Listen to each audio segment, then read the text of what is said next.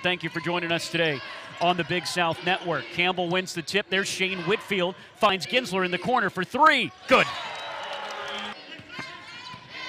Cold temperatures outside. Neither team has missed a shot inside. Eudy with a good pump fake gets his own rebound and puts it back in. First miss of the game, but it was followed up with another make.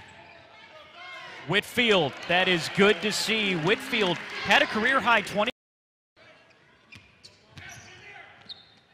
Clemmons shoots it to the corner. Burk is off balance, but it doesn't matter. Out of Indianapolis, Indiana, the Clemmons. Step back, put up, goes down. That's amazing.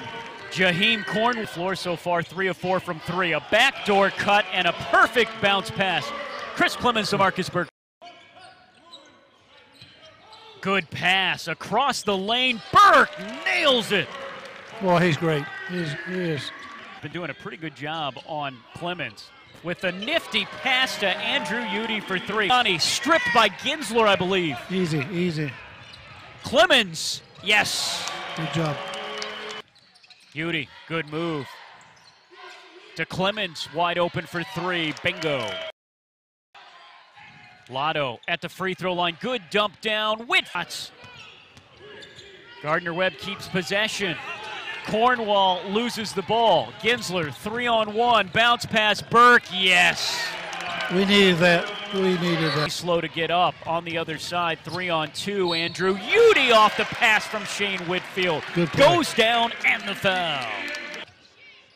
To Eudy.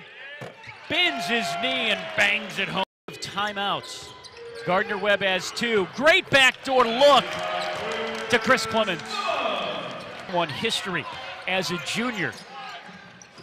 Good and job. Eudy, they go down low to the big fella for the first two points of overtime. Gardner Webb has never led. I don't know if I have ever seen that before. Burk off the screen, yes, sir. Good job. That's a long two that goes down. Just a two pointer with 10.1 seconds to go.